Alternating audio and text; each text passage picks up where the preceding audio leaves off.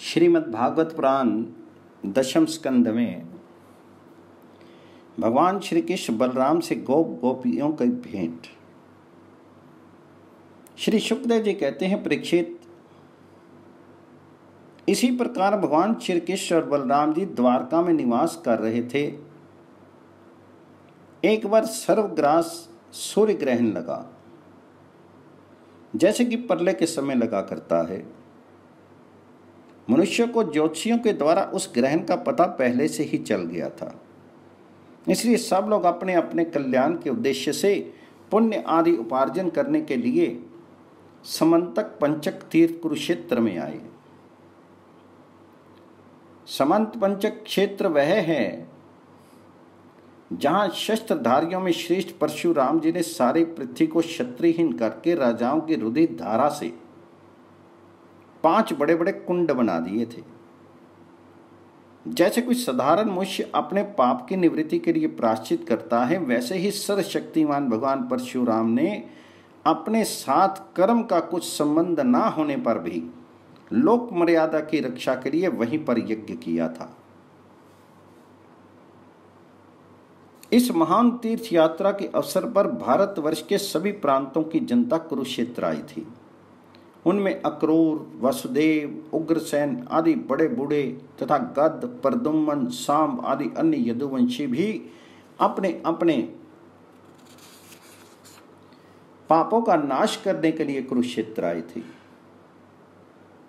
प्रदुम्न नंदन, अनिरुद्ध और यदुवंशी सेनापति कृतवर्मा, ये दोनों सुचंद्र शुक सारण आदि के साथ नगर की रक्षा के लिए द्वारका में रह गए थे।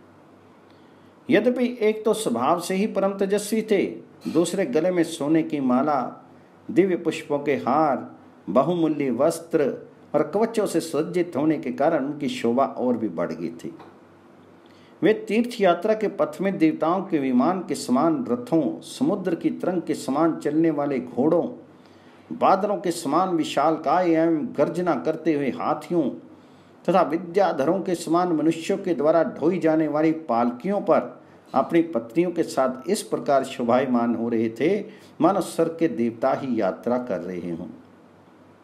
महाभाग्यवान यदुवंशियों ने कुरुक्षेत्र में पहुंचकर एकाग्रचित से संयम पूर्वक स्नान किया और ग्रहण के उपलक्ष्य में निश्चित काल तक उपवास किया।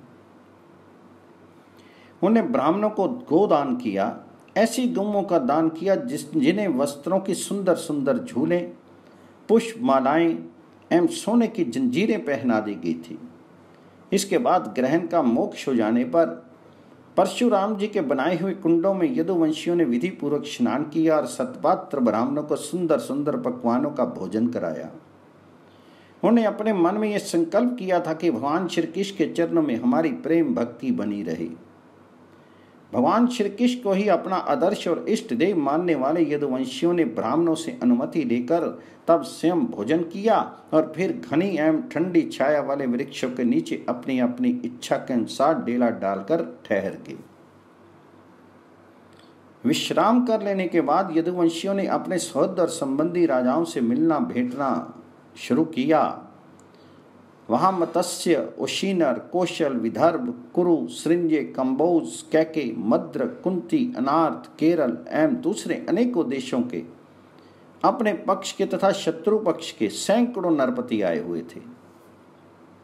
इनके अतिरिक्त यदुवंशियों के परम हितेशी बंधु नंद आदि गोप तथा भगवान जी के दर्शन के लिए चिरकार से उत्कंठित गोपियाँ भी वहाँ पर आई हुई थी। यादवों ने इन्हें सबको देखा।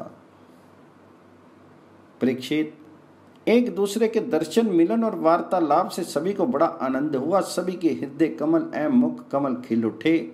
सब एक दूसरे को भुजाओं में भरकर हृदय से लगाते। उनके नेत्रों से आंसुओं की झड़ी लग जाती। रोम रोम खिल उठता। प्रेम के आवेग से बोली बंद हो जाती और सब के सब आनंद समुद्र में डूबने, उतारने लगते। पुरुषों की भांति स्त्रियाँ भी एक दूसरे को देखकर प्रेम और आनंद से भर गई। वे अत्यंत सौहार्द मंद मंद मुस्कान, परम पित्र तिरछी चितवन से देख देख कर परस्पर भेंट, अंकवार भरने लगी।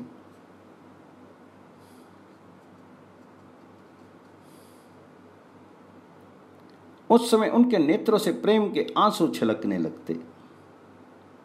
अवस्था आदि में छोटों ने बड़े बूढ़ों को प्रणाम किया और उन्होंने अपनों से छोटों को प्रणाम स्वीकार किया। वे एक दूसरे का स्वागत करके तथा कुशल मंगल आदि पूछकर फिर श्री कृष्ण की मधुर लीलाएँ आपस में कहने सुनने लगे। परीक्षित कुंती, वासुदेव आदि अपने भाइयों, बहनों, उनके पुत्रों माता पिता भाभियों और भगवान श्री कृष्ण को देखकर तथा उनसे बातचीत करके अपना सारा दुख भूल गई। कुंती ने वासुदेव जी से कहा, भैया, मैं सचमुच बड़ी अभागन हूँ। मेरी एक भी साध पूरी नहीं हुई। आप जैसे साधु स्वभाव सज्जन भाई आपत्ति के समय मेरी सुध भी नहीं ला, ना लें। इससे बढ़कर दुख की बात क्या होगी? भैया, विधाता जिसके बाएँ हो जाता है, उसे स्वजन संबंधी पुत्र माता पिता भी भूल जाते हैं। इसमें आप लोगों का कोई दोष नहीं है। वसुदेव जी ने कहा, बहन, उलाना मत दो। हमसे विलग ना मानो। सभी मनुष्य देव के खिलौने हैं। ये संपूर्ण लोक ईश्वर के वश में रहकर कर्म करता है और उसका फल भोगता है। बहन, कंस से स्थायी हुए जाकर हम लोग इधर उधर अनेक दिशाओं में भागे हुए थे। अभी कुछ ही दिन हुए, ईश्वर कृपा से हम सब पुनः अपना स्थान प्राप्त कर सके हैं। श्री सुखदेव जी कहते हैं, परीक्षित वहाँ जितने भी नरपति आए थे, वसुदेव उग्रसेन आदि यदुवंशियों ने उनका खूब सम्मान सत्कार किया। वे सब भगवान श्री कृष्ण का दर्शन पाकर परम आनंद और शांति का अनुभव करने लगे।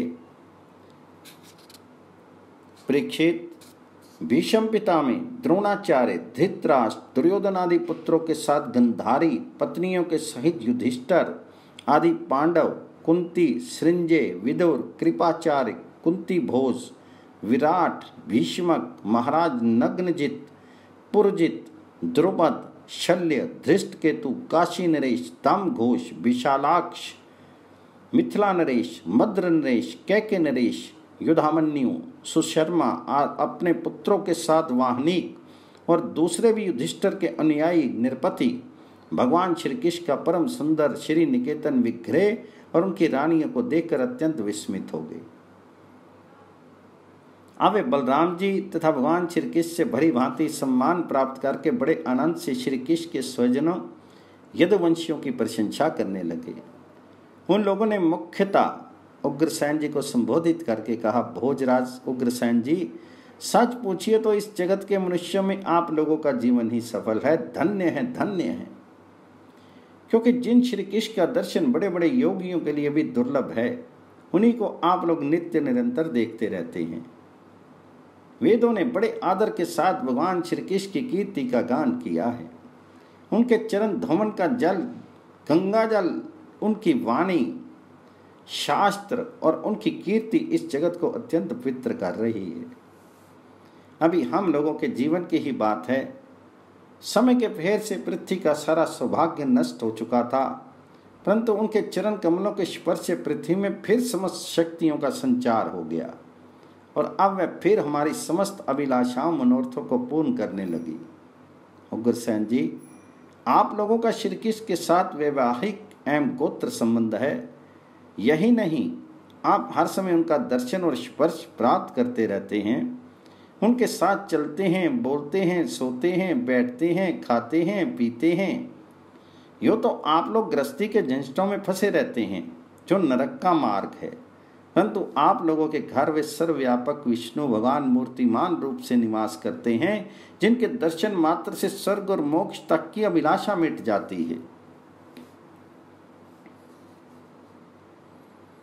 श्री सुखदेव जी कहते हैं, परीक्षित, जब नंद बाबा को यह बात मालूम हुई कि श्री कृष्ण आदि यदुवंशी कुरुक्षेत्र में आए हुए हैं तब गोपों के साथ अपनी सारी सामग्री गाड़ियों पर लाद कर अपने प्रिय पुत्र श्री कृष्ण बलराम आदि को देखने के लिए वहाँ पर पहुँच गए।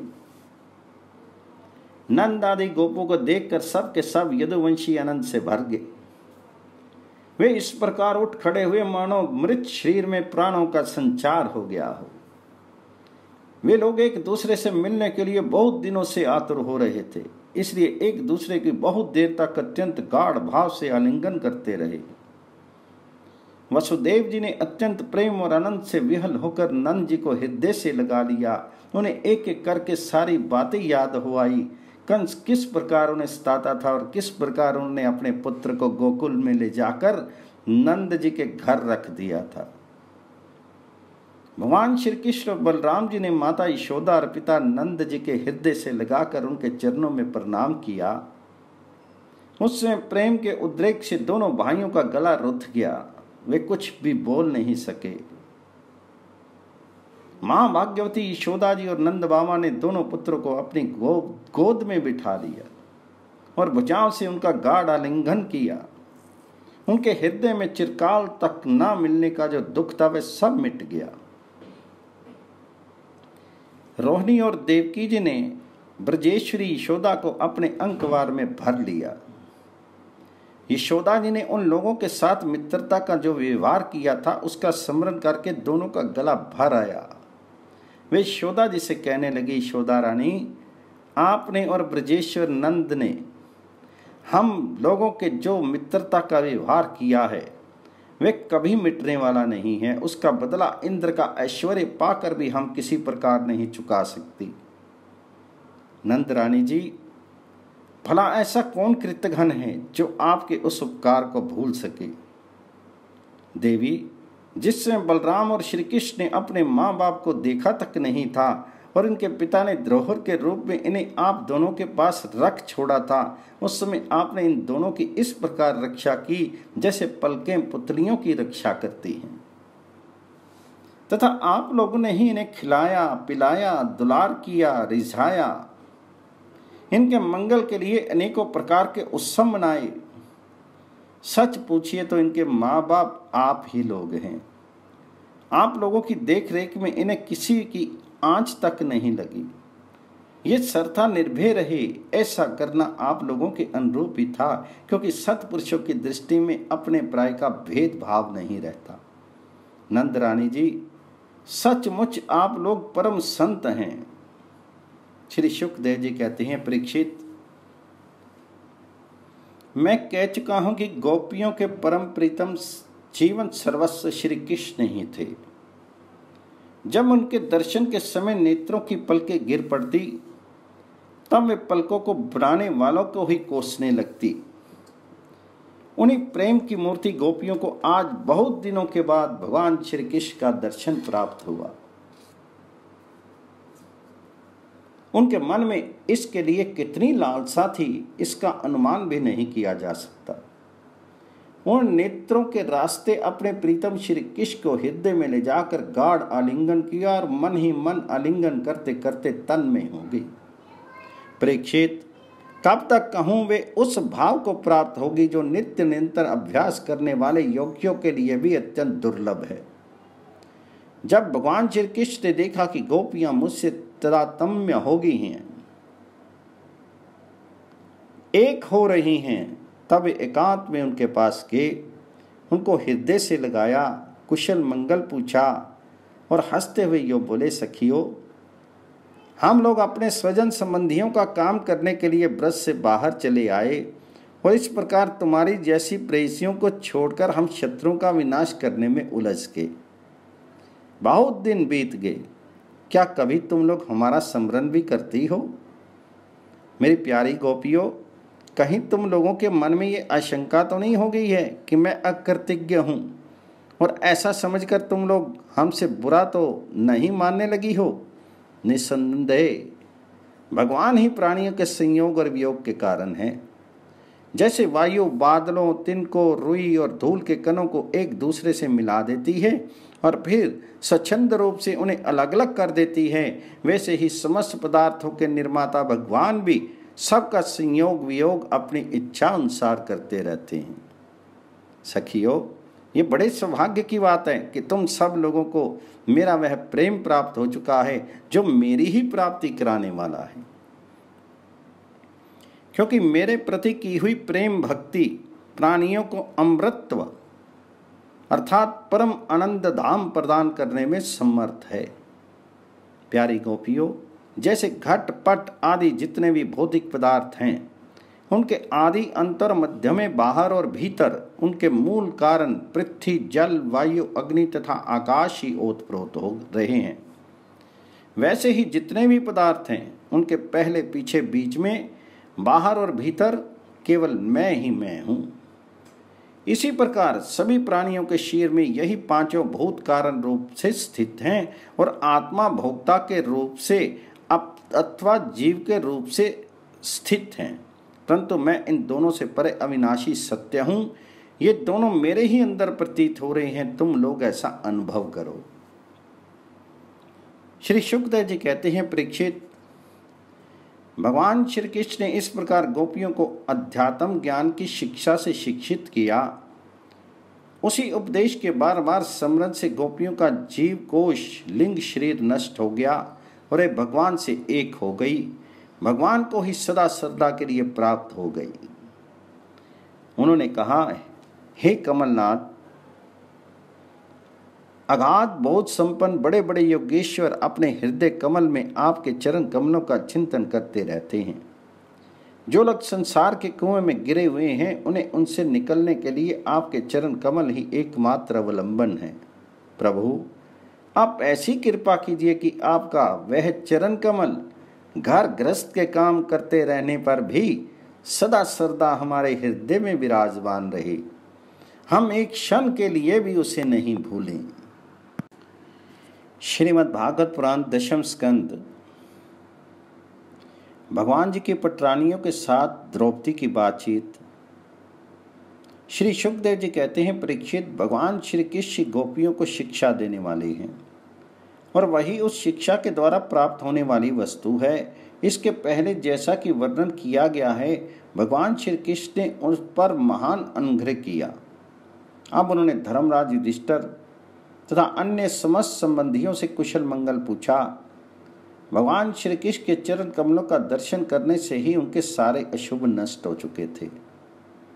अब वह भगवान श्री कृष्ण ने उनका सत्कार किया, कुशल मंगल पूछा तब वे अत्यंत आनंदित होकर उनसे कहने लगे, भगवान बड़े बड़े महापुरुष मन ही मन आपके चिरनार विंद का मकरंद रसपान करते रहते हैं।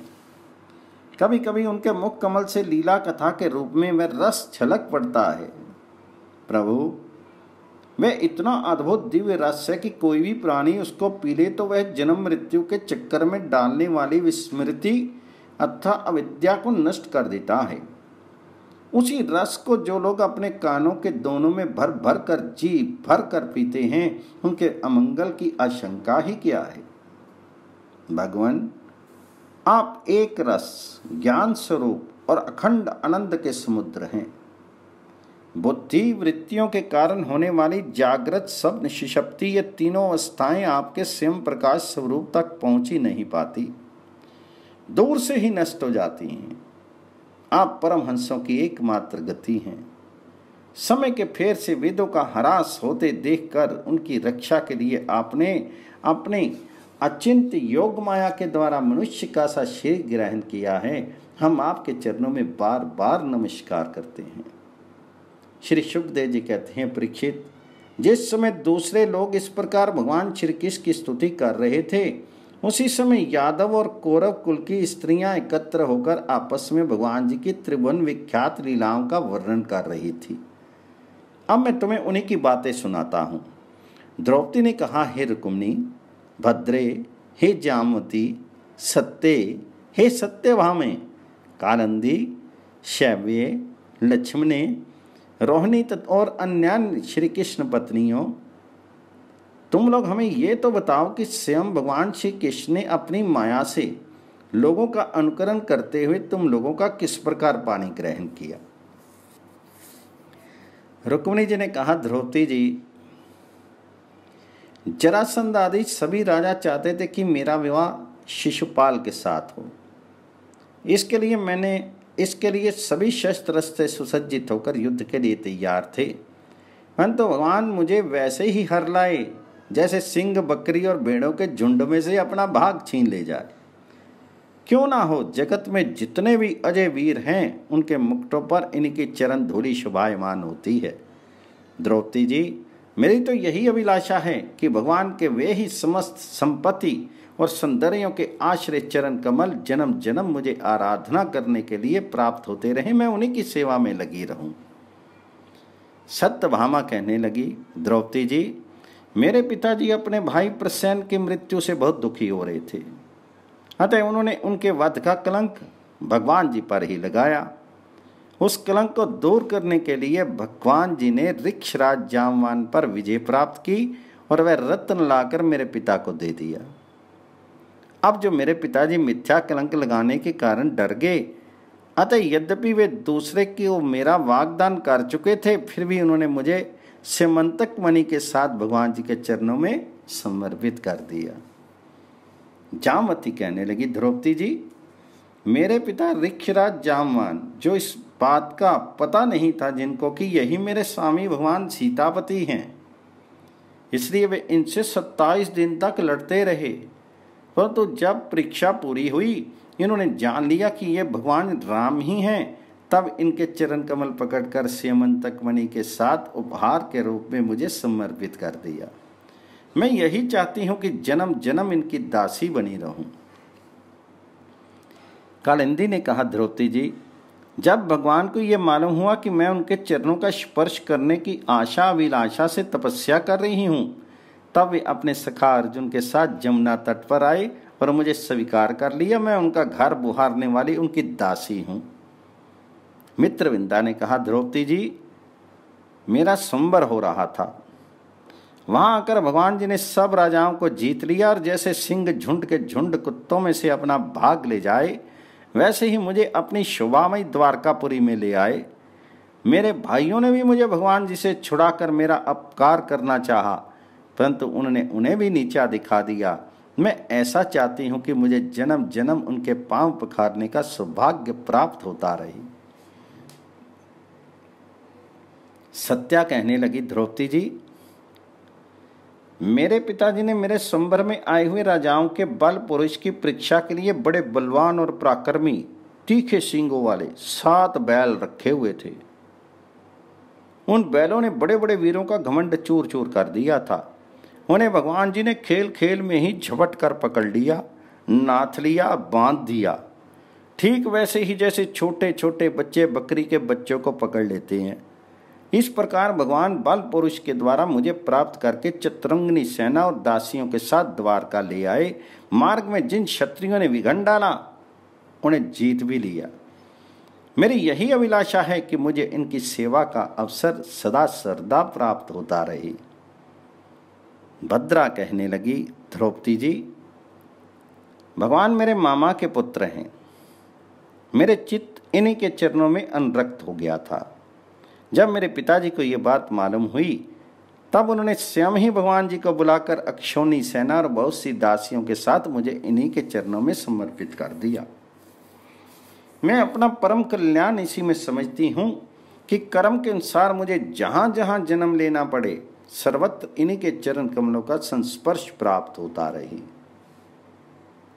अब लक्ष्मणा बोली, रानी जी देवऋषि नारद बार बार भगवान जी के अवतार और लीलाओं का गान करते रहते थे।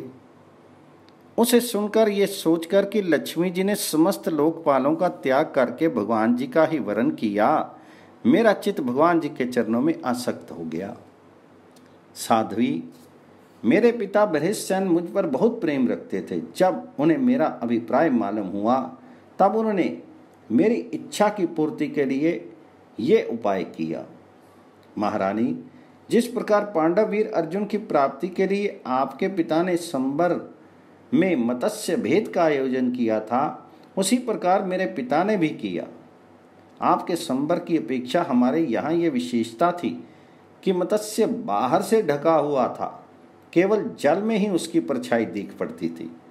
जब ये समाचार राजाओं को मिला तब सब ओर से समस्त अस्त्र शस्त्रों के तत्वज्ञ हज़ारों राजा अपने अपने गुरुओं के साथ मेरे पिताजी की राजधानी में आने लगे। मेरे पिताजी ने आए हुए सभी राजाओं का बल पुरुष और अवस्था के अनुसार भली भांति स्वागत सत्कार किया। उन लोगों ने मुझे प्राप्त करने की इच्छा से संबर सभा में रखे हुए धनुष और बाण उठाए। उनमें से कितने ही राजा तो धनुष पर तांत भी नहीं चढ़ा सके। उन्होंने धनुष को ज्यों का त्यों रख दिया। कईयों ने धनुष की डोरी को एक सिरे से बांधकर दूसरे सिरे तक खींच तो लिया, परंतु वे उसे दूसरे सिरे से बाँध नहीं सके। उसका झटका लगने से गिर पड़े। रानी जी बड़े बड़े प्रसिद्ध वीर, जैसे जरासंध अम्बस्ट नरेश शिशुपाल, भीमसेन, दुर्योधन और करण, इन लोगों ने धनुष पर डोरी तो चढ़ा दी परंतु उन्हें मछली की स्थिति का पता नहीं चला। पांडवीर अर्जुन ने जल में उस मछली की परछाई देख ली और ये भी जान लिया कि वे कहाँ हैं। बड़ी सावधानी से उन्होंने बाँध छोड़ा भी, परंतु उनसे लक्ष्य भेद नहीं हुआ। उनके बाँध केवल उनका स्पर्श मात्र किया। इस प्रकार बड़े बड़े अभिमानियों का मान मर्दन हो गया।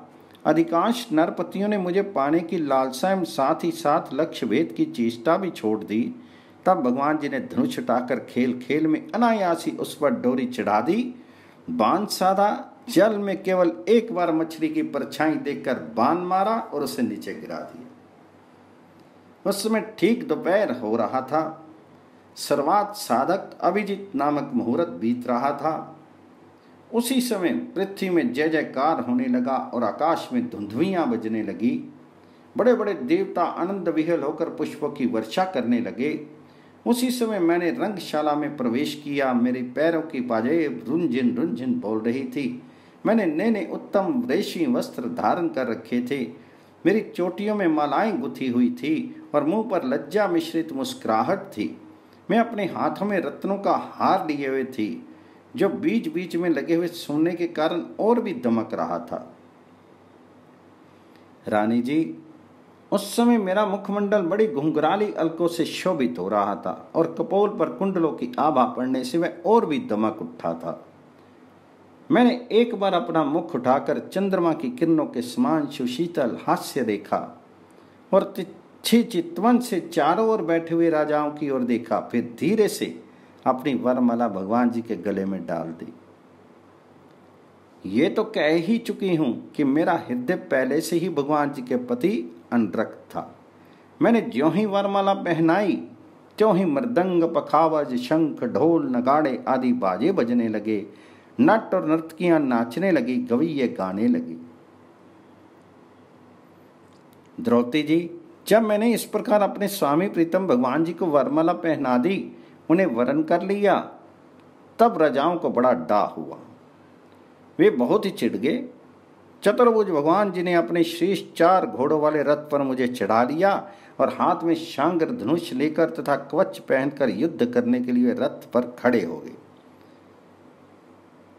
पर रानी जी, दारुक ने सोने के साथ सामान से लदे हुए रथ को सब रजाओं के सामने ही द्वारका के लिए हाँक दिया।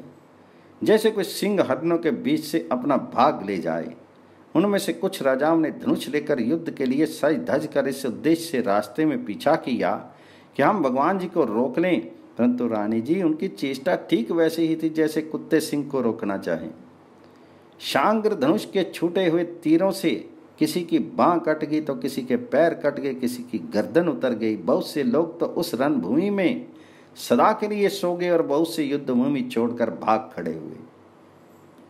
तंत्र यदुवंश शिरोमणि भगवान जी ने सूर्य की भांति अपने निवास स्थान, स्वर्ग और पृथ्वी में सर्वत्र प्रशंसित द्वारका नगरी में प्रवेश किया। उस दिन वह विशेष रूप से सजाई गई थी। इतनी झंडियाँ, पताकाएँ और तोरण लगाए गए थे कि उनके कारण सूर्य का प्रकाश धरती तक नहीं आ पाता था। मेरी अभिलाषा पूर्ण हो जाने से पिता को बहुत प्रसन्नता हुई। उन्होंने अपने हितेशी सुहृदों, सगे संबंधियों और भाई बंधुओं को बहुमूल्य वस्त्र, आभूषण, शैया, आसन और विविध प्रकार की सामग्रियाँ सम्मानित किया। भगवान परिपूर्ण है। तथापि मेरे पिताजी ने प्रेमवश उन्हें बहुत सी दासियाँ, सब प्रकार की संपत्तियाँ, सैनिक, हाथी, रथ, घोड़े एवं बहुत से बहुमूल्य अस्त्र शस्त्र समर्पित किए। रानी रानी जी, हमने पूर्व जन्म में सबकी आसक्ति छोड़कर कोई बहुत बड़ी तपस्या की होगी, तभी तो हम इस जन्म में आत्माराम भगवान की ग्रह दास्तियाँ हुई। सोलह हज़ार पत्नियों की ओर से रोहिणी जी ने कहा, भौमासुर ने दिग्विजय के समय बहुत से राजाओं को जीतकर उनकी कन्या हम लोगों को अपने महल में बंदीर बना रखा था। भगवान जी ने ये जानकर युद्ध में भौमासुर और उनकी सेना का संहार कर डाला और स्वयं पूर्ण काम होने पर भी उन्होंने हम लोगों को वहाँ से छुड़ाया तथा पानी ग्रहण करके अपनी दासी बना लिया। रानी जी हम सदा सर्दा उनके चरण कमलों का चिंतन करती रहती हैं, जो जन्म मृत्यु रूप संसार से मुक्त करने वाले हैं। साधी द्रौपदी जी, हम साम्राज्य, इंद्रपद अथवा इन दोनों के भोग, अनिमा आदि ऐश्वर्य, ब्रह्मा का पद, मोक्ष अथवा सालोक्य, सारूप्य आदि मुक्तियाँ कुछ भी नहीं चाहती। हम केवल इतना ही चाहती हैं कि अपने प्रीतम प्रभु के सुकोमल चरण कमलों की वह श्री राज श्रद्धा अपने सिर पर वहन किया करें, जो लक्ष्मी जी के वक्ष पर रखी हुई केसर की सुगंध से युक्त है। उदार शिरोमणि भगवान जी के जिन चरण कमलों का स्पर्श उनके गो चराते समय गोप गोपियाँ भीलने, तिनके और घास लताएँ तक करना चाहती थी, उन्हें की हमें भी चाह है।